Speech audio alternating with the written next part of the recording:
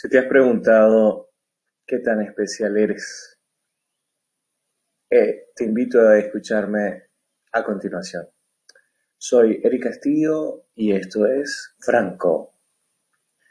Hoy en día estamos inundados por eh, una cantidad de redes sociales y una cantidad de influencia de diferentes personas que quieren demostrarnos lo importantes que son. Cada quien desde su propia perspectiva, cada quien desde lo que ellos consideran que es lo más relevante, lo, en lo que más se destacan o en lo que los hace especiales. Y en eso, de repente, caemos en la trampa de competir por ser igual o mejores que esas personas. La verdad es que al seguir este patrón probablemente nos encontremos con un camino lleno de frustración. Sin embargo, eh, tenemos que encontrar nuestro propio camino y eso es lo que les quiero contar hoy. Hablar un poco de mi experiencia para encontrar el camino. En este primer podcast quiero contarles un poco acerca de mí, un poco acerca de las experiencias que he vivido y un poco acerca de cómo veo la vida, pero sobre todo cómo este concepto de la vida y de la felicidad ha venido cambiando, ha venido modificándose conforme pasa el tiempo. Y hay una cosa que nos hace mucho daño a todos, y eso es el prejuicio.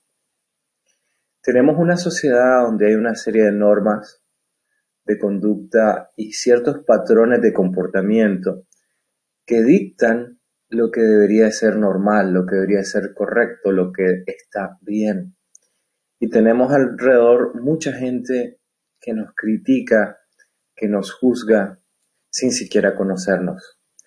Y si partimos de este hecho fundamental, que hay personas que van a hablar mal de nosotros y que ni siquiera nos conocen. El problema está en que nosotros le demos importancia. Nadie es más importante que tú en todo el mundo.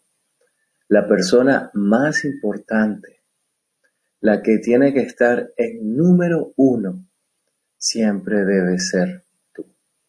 Todo lo demás es secundario. Pensando en ti mismo, Voy a hablarte de mis fracasos a lo largo de estos capítulos.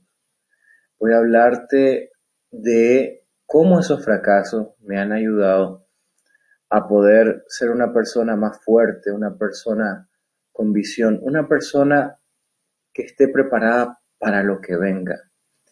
Ser lo suficientemente fuerte para no doblegarse frente a lo violento de la tormenta. Y en ese sentido, comentarte de que a lo largo del tiempo he crecido con una percepción basada en lo que la sociedad te dicta de lo normal, lo correcto, para cual muchas de esas cosas sí considero que son parte de lo que me definen como persona. Así que una de las primeras cosas que debemos de aprender a hacer es conocernos a nosotros mismos y querernos, aceptarnos desde ese punto de vista. Y esto, para mí, la lección empieza desde muy chico, porque desde muy chico tuve que enfrentarme a esos prejuicios. Prejuicios relacionados con qué?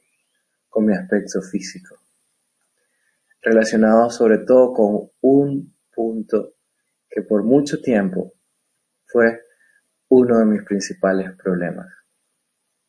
Y era precisamente mi peso. Desde chico yo fui un niño con sobrepeso. Y al tener esa característica, me enfrentaba en el día a día con niños que opinaban acerca de mi condición física. comenzaba a ser un prejuicio. Y ciertamente habían personas que me hacían sentir muy mal, pero también tenía personas que me hacían sentir bien. Y mi ancla de sentirme bien en ese momento eran las personas que hoy en día, hoy por hoy, amo más que cualquiera otras en este mundo. Y son mis padres. Mi papá y mi mamá siempre estuvieron ahí para darme palabras de aliento, para motivarme, para decirme que no importara lo que dijeran los demás, porque al final ellos me amaban tal y como yo era. Y empezó una lucha de muchos años por tratar de, de entender eso y de poder vivir con eso. Y ahí viene un punto donde es la aceptación. Aceptar que las cosas son como son. No negarnos a un hecho que es objetivo, que es la realidad. Uno puede vivir su vida pensando de que tiene este problema y tratar de resolverlo porque los demás quieren que lo resolvamos, pero no es algo que yo quiera en sí mismo, es algo que las demás personas quieren. Entonces yo puedo tener dos caminos. Uno, el tratar de hacer feliz a todo mundo y tratar de cambiar en función de lo que los otros quieren, cuando la persona más importante en este mundo soy yo. ¿Por qué le presto atención a lo que los demás piensan o a lo que demás dicen que debo hacer? Y el otro camino es aceptarse, pero no es una aceptación como ni modo, perdí, no hay nada más que hacer. No, es una aceptación de decir así soy y tengo que ser feliz y me siento bien conmigo mismo. Hay frases en la vida muy poderosas y el poder de la palabra nos da la posibilidad de convertir y transformar nuestra realidad. Yo soy un fervoroso creyente de que uno es la sumatoria de las decisiones que toma. Decisiones que a veces son a nuestro criterio buenas, otras veces que a nuestro criterio son malas. Pero al final uno tiene el poder de cambiar esa realidad. Pero esa realidad se cambia con decisiones que se toman una a la vez y que van construyendo a esa persona que quiere ser tú, no la persona que quieren que sean los demás.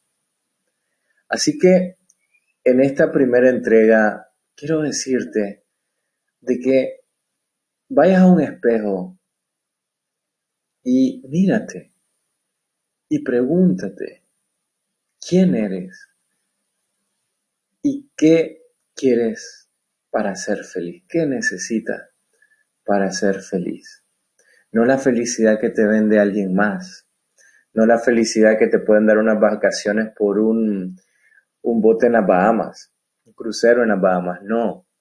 La felicidad que desde tu interior te hace sentir plenamente libre, dichoso, te hace sentir feliz de ver esa persona en la que te estás convirtiendo o en la que te has convertido. El aceptar con felicidad de que no somos perfectos, hay defectos en nosotros, pero esos defectos al final han sido una decisión que he tomado y si esos defectos que son vistos por otras personas, pero para ti son cosas positivas, pues no vería la necesidad de que los cambies. Obviamente todo esto encaminado en algo que no sea destructivo autodestructivo que daña a otras personas. Quiérete, ámate, acéptate. Eres la persona más importante en este mundo. Y no le des a otras personas la posibilidad de quitarte y arrebatarte la felicidad que al final depende de ti. Así que Aprende a estar contigo y a disfrutar esa compañía, esa compañía sincera, esa compañía fiel, esa compañía que te va a acompañar, valga la redundancia, toda la vida. Así que recuerda, esto es Franco y yo soy Eric Castillo.